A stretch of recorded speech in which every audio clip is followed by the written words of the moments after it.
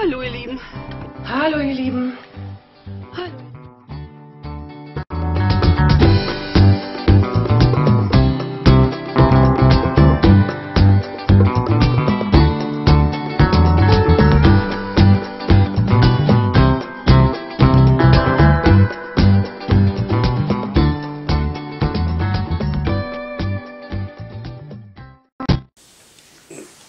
Leute.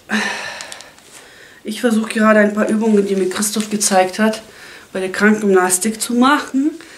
So einmal hoch und dann nach hinten. Oh Mann, das tut richtig im Rücken weh. Einmal hoch und dann nach hinten. Aber wir haben diese Woche Krankgymnastik ausfallen lassen, weil Christoph krank ist. Und mir auch nicht so gut ging jetzt die letzten Tage, sodass es gar keine stattgefunden hat. Und das merkt man dann. Deswegen sitze ich jetzt hier ziemlich schlecht beleuchtet, wie ich gerade sehe. Ihr seht mich gar nicht, ne? Ich verstehe gar nicht mehr, wie das am besten hier gemacht werden soll. Lichttechnisch. Besser so? Ja, ein bisschen, oder? Und nach hinten. Puh. Was hat er mir noch gezeigt? Ach ja, das ist eigentlich ganz einfach. Das kenne ich noch von früher. Habe ich selber auch gemacht mit den Mädels, als ich die Sportstunden geleitet habe. Einfach nur hinten festhalten und oben hochziehen, das Band. Weil ich ja jetzt extrem mit dem Rücken momentan, oh Mann, keine Ahnung, Wetter, ich werde alt, alles zusammen, schlechte Haltung. Also das soll auch eben erstmal für die Schultern, wo ich momentan auch Probleme habe, und aber auch gegen den Rundrücken halt ein bisschen helfen. Ja, und das gleiche andere Seite auch.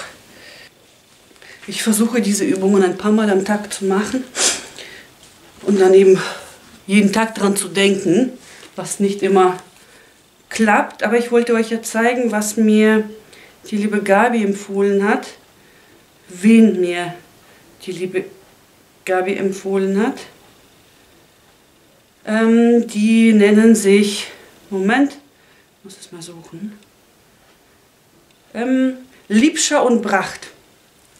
Da sind die Schmerzspezialisten, nennen sie sich auch so, die Schmerzspezialisten. Und äh, die sind eigentlich sehr gut. Ich habe ein paar Übungen schon gemacht davon. Ich kann euch ein bisschen was zeigen, aber guckt einfach selber. Ich äh, werde unten in die Kommentare heute einfach schreiben, äh, wie die genau heißen oder vielleicht den Link zu denen setzen. Ja. Hier ist zum Beispiel genau ein Video vor acht Stunden rausgekommen, die Lösung. Die drei Übungen korrigieren deine schlechte Haltung. Also, ich gucke mir das nachher an. Erstmal mache ich aber jetzt die Übungen, die ich schon gesehen habe, mir angeguckt habe und auch schon ausprobiert habe. Das kann ich auch zeigen gleich, aber ich muss jetzt mal gucken, wo meine Bestellung hingegangen ist. Also die Beleuchtung sitzt, steht jetzt einigermaßen. Ist ein bisschen blöd trotzdem, aber, aber nicht mehr ganz so schlimm. Ihr könnt mich ja sehen jetzt. Ne? Ich zeige euch nachher nochmal gleich. Ich muss ja die, die Übungen nochmal machen. Aber ich habe letzte Woche was bekommen. Ich habe es mir bestellt. Das war auch ziemlich schnell angekommen. Ich habe mir jetzt dieses Faszien-Set bestellt. Man kann natürlich auch von denen, äh, äh, ich merke ne, den Namen nicht, Lieb, Libra und, und Brach. Ah. Ich, die haben eigenen Shop auch natürlich und man kann auch ihre Sachen bestellen, aber ich habe mir jetzt was günstigeres bestellt und hier gibt es dann auch tatsächlich Erklärungen, Pflegehinweise, Wirkung, Anwendung, und dann ein Plakat mit den ersten Übungen. Die habe ich noch gar nicht gemacht. Obwohl, das hier habe ich gemacht. Das ist richtig gut. Das mache ich gleich auch.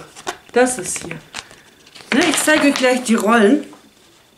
Aber alles andere habe ich noch nicht gemacht. Ich habe nur das versucht zu machen, was ich in dem Video von den beiden gesehen habe. So, auf jeden Fall ist hier kleine Kugel, also die ist richtig gut, so entlang der Wirbelsäule und so.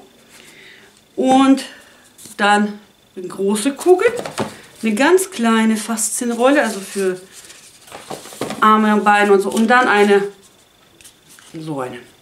Und ich sehe gerade, mein Akku ist eine. Ich komme gleich wieder. Ich muss den Akku austauschen. So, ich bin wieder zurück. Der neue Akku ist drin. Ja, und ich mache jetzt erstmal meine Übungen nochmal. Aber ich glaube, diesmal schaffe ich gar nicht so viele Wiederholungen. Ich glaube, ich habe letztens acht gemacht. Ja, ihr merkt, ich bin komplett unfit. Und das, äh, ja, muss ich sagen, ich schäme mich total dafür. Weil früher war ich richtig sportlich. Noch bis, ich sag mal, was weiß ich, ja, vor acht, sieben Jahren habe ich eigene Gruppen geleitet und alles, ne, habe ich ja schon mal erzählt. Und jetzt kriege ich nicht mal Krankgymnastik richtig hin. Ne, also äh, Ausdauer geht momentan gar nicht.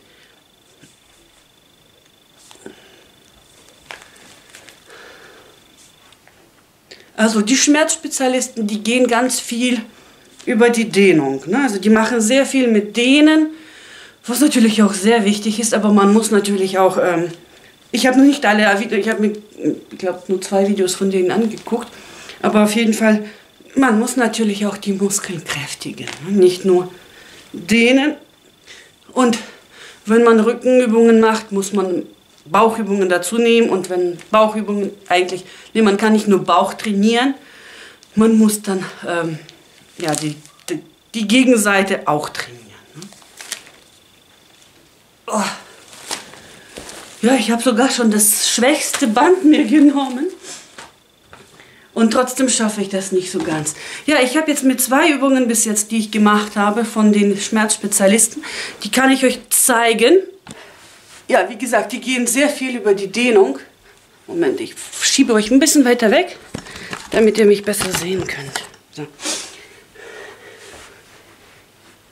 So, man stellt sich jetzt, ich ziehe mal meine Schuhe raus.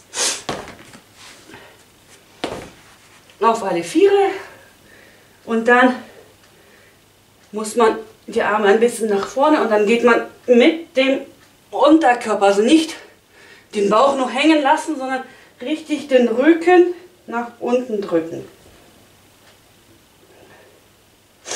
Und dann sollte man das so bis zweieinhalb, drei Minuten halten der Kopf gerade. Ich schaffe keine drei Minuten, keine zweieinhalb. Es tut auch weh. Und das soll auch weh tun, aber eben so. Und die andere Übung wäre, man dehnt jetzt hier den. Ne? Die Beine müssen so bleiben, man darf nur ganz leicht nach unten, vielleicht mit dem Po. Und dann drückt man den Oberkörper so richtig und den oberen Rücken nach unten. Ne? Mit der Brust Richtung Boden. Und dann zieht es auch im Rücken und überall. Und dann hat er einmal die Hände. Seht ihr jetzt nicht, dass die Daumen sich berühren. Und genau das gleiche. Und dann Arme auseinander, so Hände weiter und auch wieder. Das kriege ich aber nicht hin. So. Und Gott. Aber das kann ich nicht. Das tut einfach zu sehr weh. Ich weiß nicht, mein Buckel ist wahrscheinlich schon fortgeschritten oder keine Ahnung. Da, wo die Stelle halt ist, ne, wo es rund ist, sollte man sich so drauflegen. Am besten ein Kissen oder sowas noch hinter den Kopf. Und dann die Arme nach hinten. Und dann so, solange man kann, liegen bleiben. Das dient dann auch hier alles und vor allem der Rücken. Ne? Was ich aber als sehr angenehm finde bei diesen Faszienrollen-Geschichte, den hier, diese Doppelkugel, das ist richtig gut. Ich habe gerade solche Verspannungen immer wieder hier im Nacken und dann so liegen bleiben und dann vielleicht ein bisschen zwischendurch bewegen. Das ist angenehm. Da kann ich ein bisschen länger liegen bleiben. Hm, gute Nacht. Ach nee, Quatsch beiseite. Ich habe noch einiges im Haushalt zu erledigen. Ja, und dann gibt es eben ganz normal die alten Übungen, die wir eigentlich alle kennen. Also dieses mit dem Katzenbuckel und dann Hängebauch. Ne? Ich habe immer am Ende der Stunde, bei meinen Stunden, die ich gemacht habe, früher das mit dem Rücken gemacht. Aber es war jedes Mal mit drinne. Irgendwelche Rückenübungen. Oder auch mal das, ne? Diagonal so. Rechte Hand oder rechter Arm, linkes Bein, strecken und halten. Und dann das gleiche andersrum. So, da habe ich gar nicht so viel gemacht und bin schon aus der Puste. Ihr merkt, ne? Total unsportlich. Ja, und auch eben immer wieder Dehnübungen machen. Ne?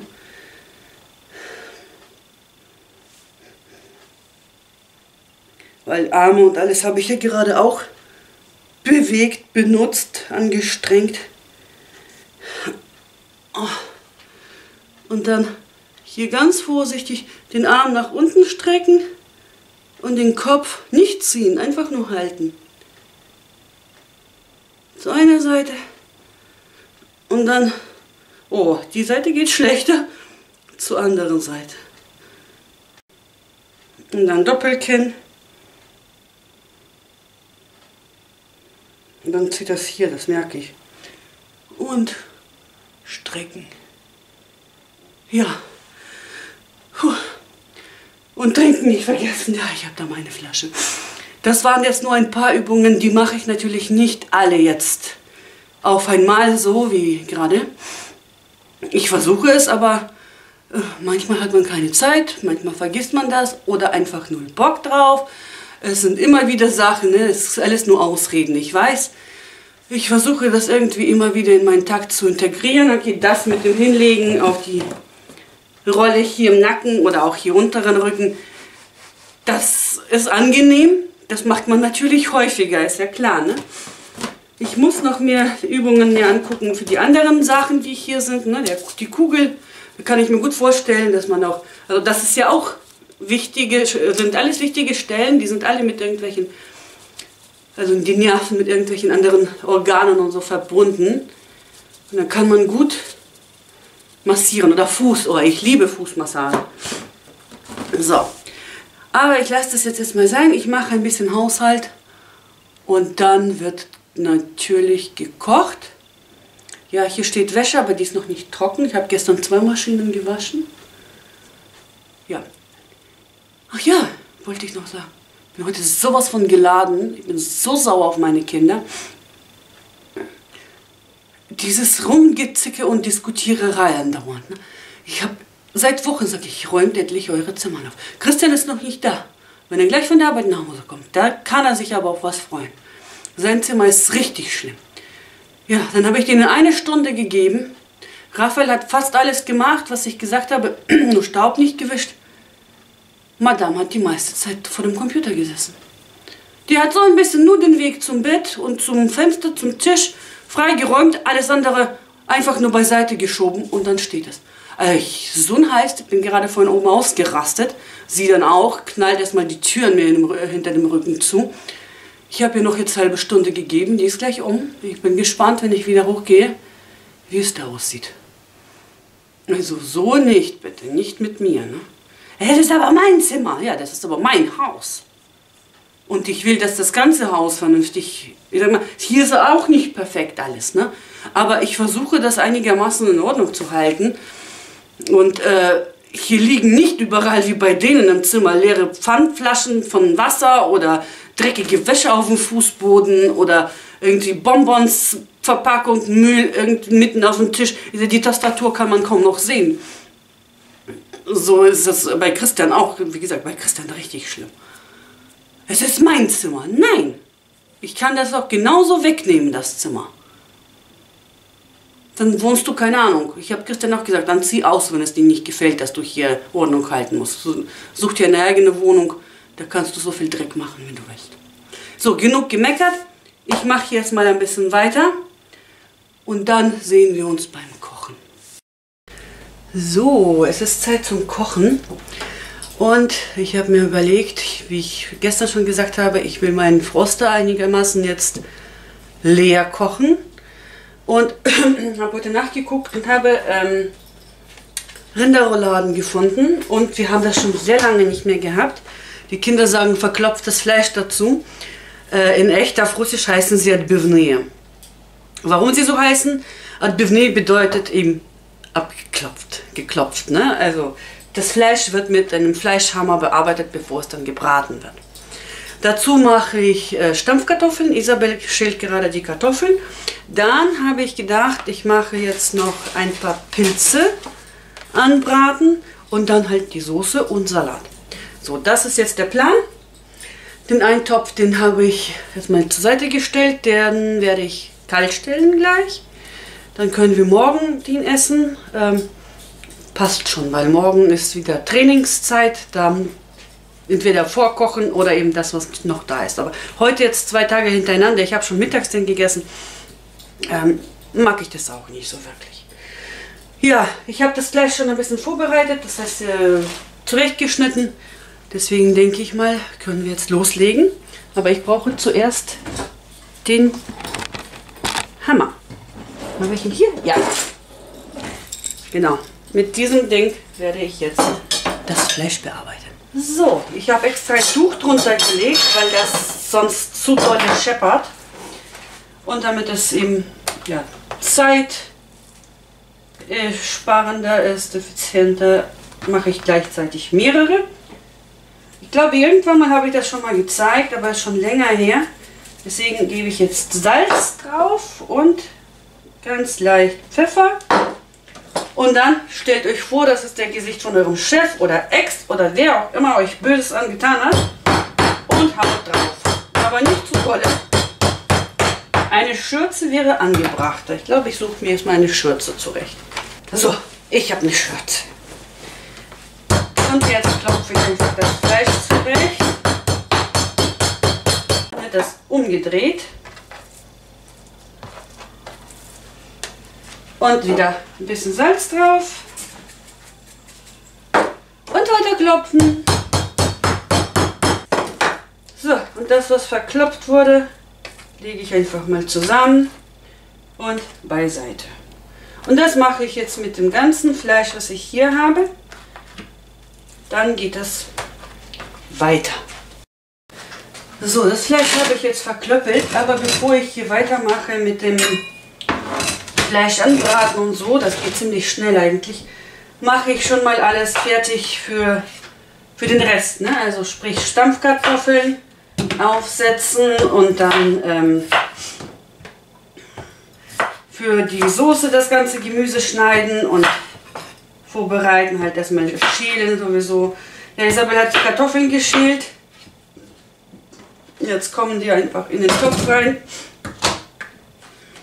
Und für die Soße nehme ich, ja, wie schon so oft, ich habe ich ja, glaube ich, schon sehr oft gesagt, diesmal nehme ich noch Sellerie mit bei, ansonsten Zwiebel, Knoblauch, Möhren, ein bisschen Paprika, ein bisschen Zucchini und dann, je nachdem, wie man das will, ob das mit Tomaten gemacht werden muss oder nicht, dann nehme ich Tomatenmark oder passierte Tomaten oder beides. Das überlege ich mir gerade noch, ob ich die Soße tomatig haben will oder nicht. Die Kartoffeln sind fertig drin. Ich mache jetzt Wasser rein und ab auf den Herd damit. Und Salz. Hier kommt als erstes nicht rein in die Stampfkartoffeln. Also viele nehmen noch Muskatnuss. Ich mag den nicht, deswegen kommt bei mir kein Muskatnuss mit rein. So. Und jetzt schneide ich und schäle ich erstmal das ganze Gemüse. Und die Pilze, genau, die wollte ich ja noch nebenbei anbraten dazu als Beilage. Und wenn es dann weitergeht, zeige ich es euch. So, es geht weiter. Ich habe jetzt das ganze Gemüse geschnitten. Was ich gesagt habe, was in die Soße reinkommt. Stampfkartoffeln stehen schon auf dem Herd. Das Öl ist alle. Okay, muss ich gleich anderen holen. Und jetzt kommt das ganze Gemüse einfach mal in den Topf rein. Und dann wird es erstmal kurz angebraten. Und wenn es dann ein bisschen angebraten ist, kommt Tomatenmark oder Wasser oder je nachdem, wie man die Soße haben will, halt Flüssigkeit rein und dann wird das fertig gar gekocht und dann püriert. Das ist dann die so Soße.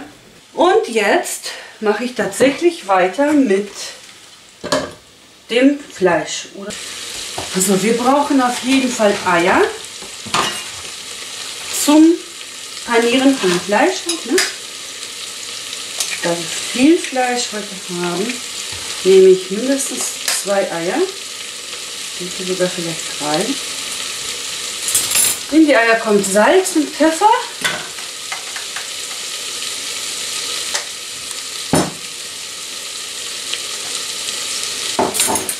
Und dann ordentlich verquirlen. Und in die andere Schüssel kommt Mehl.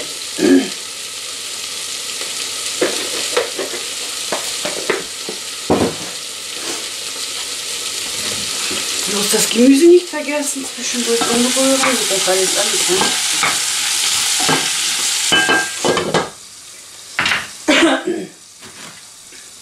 Ja, und dann ist es eigentlich ganz einfach. So zusammengeklapptes Fleisch wird einfach erstmal in Ei gewendet und dann in Mehl.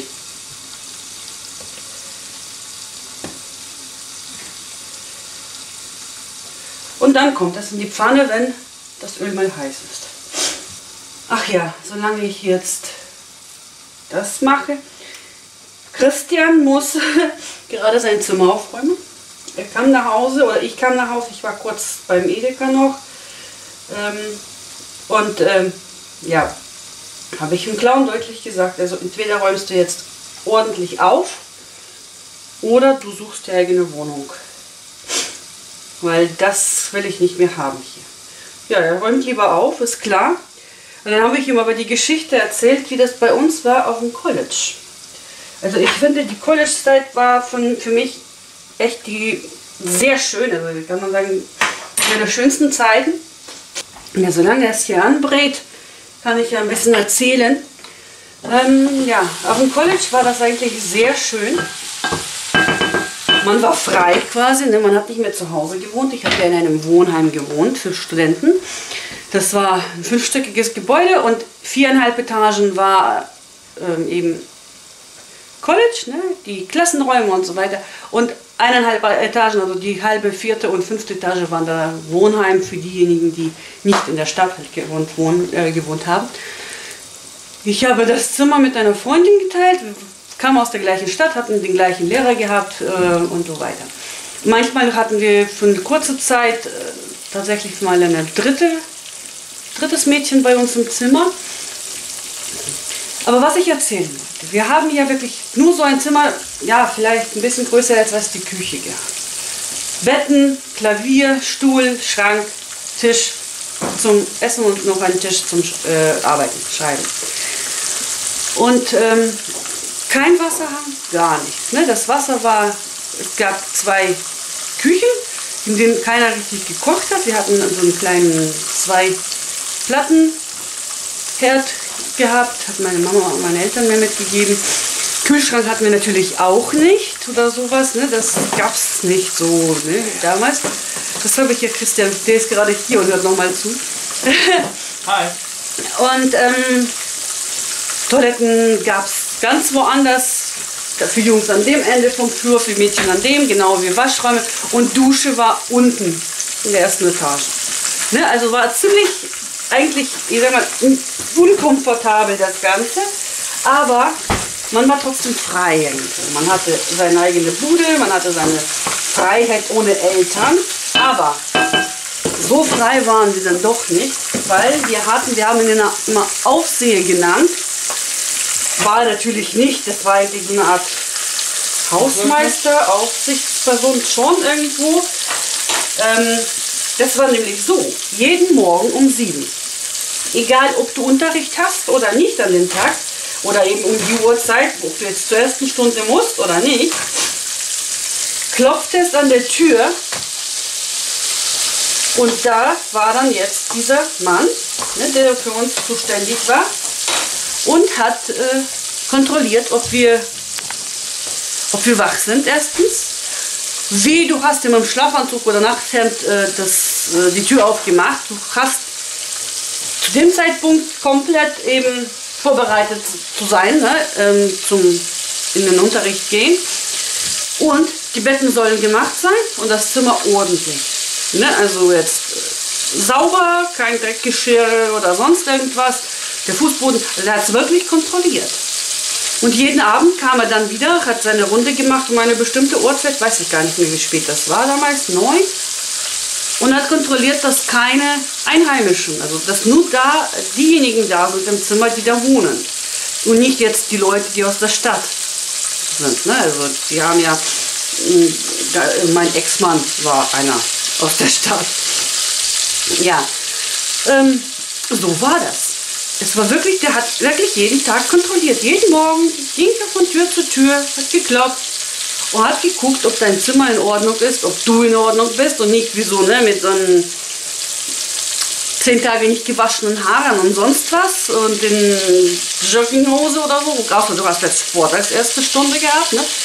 Also da wurde er echt streng kontrolliert. Und ich habe den Kindern jetzt gedroht und habe gesagt, wenn ihr jetzt hier Stress macht und nicht mit euren Zimmern klarkommt, nicht aufräumen, führe ich einen Tag in der Woche ein, an dem ich das mache. Ich mache einfach Rundgang durch die Zimmer und alles, was nicht nach mir ist, nicht in Ordnung ist, was nicht an seinem Platz ist oder dreckig, ja, dann gibt es Ärger. Ich muss nur noch überlegen, welchen. Was ich denen da jetzt antue, sozusagen.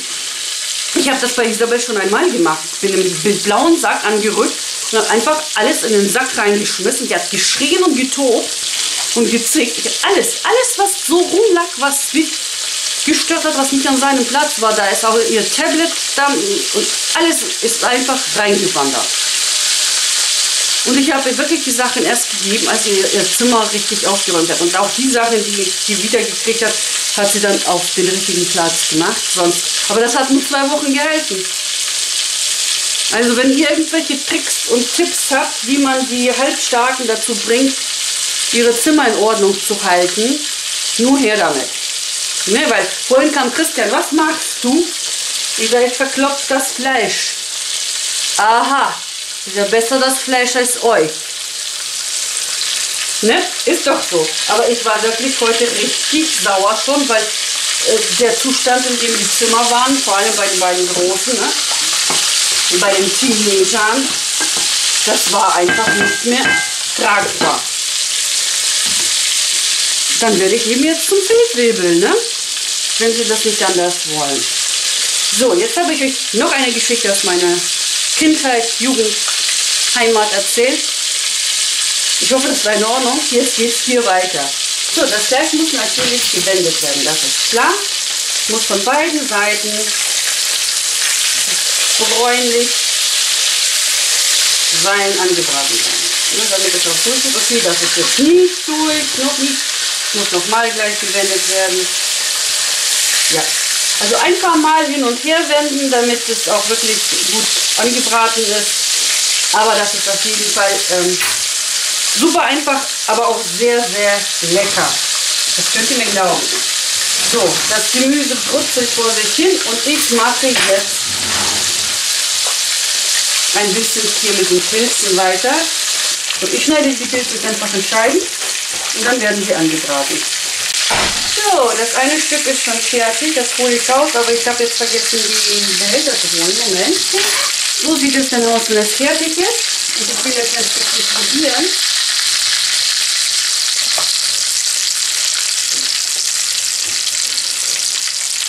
So sieht es aus. Mmh. Wirklich lecker. Aber halt. Ich werde jetzt die Soße weitermachen. Ich gebe ein bisschen von den Paprikapaste, äh, äh, Pulver wollte ich schon sagen, rein. Und dann Tomatenstücke, Basilikum, Kräuter. Da habe ich schon ein bisschen Kräuter mit drin.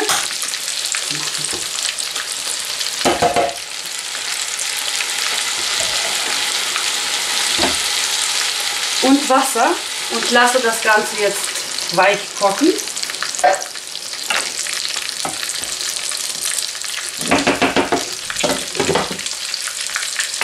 Und hier hole ich jetzt schon mal die raus. Die sind fertig. und mache weiter. Das heißt, die nächsten müssen, zack, daneben gehen. Die nächste Ladung wird in die Pfanne wandern. Ja, und hier habe ich eine Pfanne. Mache ich hier mit Butter, nee, Butter gebe ich nachher ein bisschen dazu. Gebe nur ganz wenig Öl rein, die kleine und mache an. Und da werde ich gleich die Pilze drinnen braten. Einfach nur anbraten mit Salz und Pfeffer. So, ich habe jetzt die Abzugshaube an, anschalten müssen, weil hier, ja, die Luft kann also schneiden. Von dem ganzen Braten steht äh, hier Rauch im Zimmer. Da hat auch das Fenster nicht viel gebracht. Also ich habe jetzt hier die Soße, die habe ich püriert. Da habe ich jetzt einen kleinen Rest von Creme Leger reingetan. Und ich gebe den Rest von Frischkäsekräuter. Und das mixe ich noch einmal durch. Und jetzt probiere ich, ob genug Salz drin ist. Das ist die Soße. Hast du welche Soße probiert? Ja. Ja gut. Auf jeden Fall kommt da doch ein bisschen Salz rein. Ja, das will ich.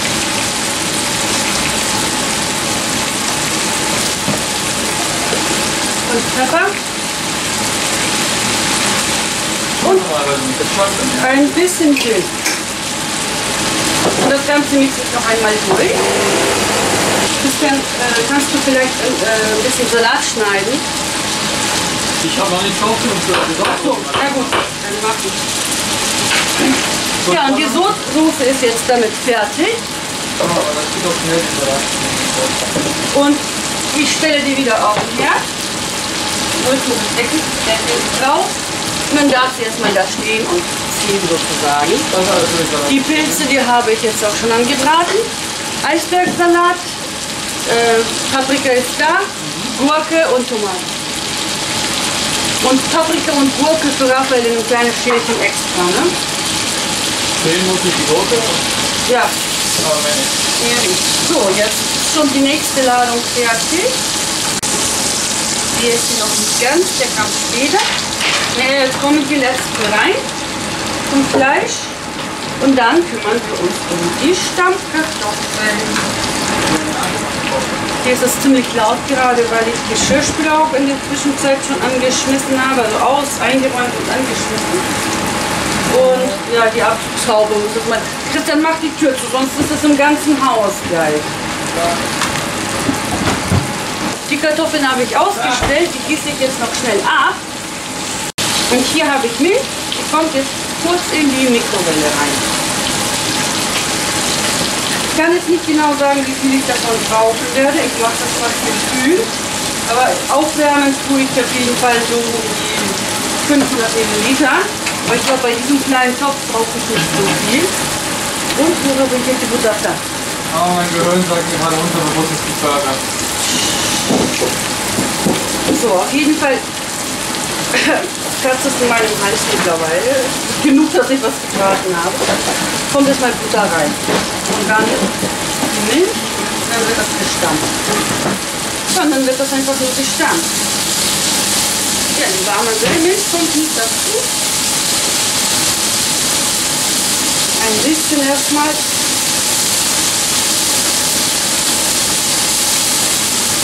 Und fertig. Fertig. So sieht es aus. Salat steht auf dem Tisch. So.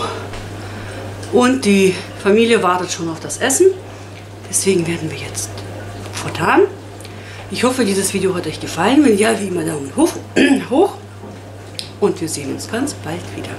Tschüss, ihr Lieben.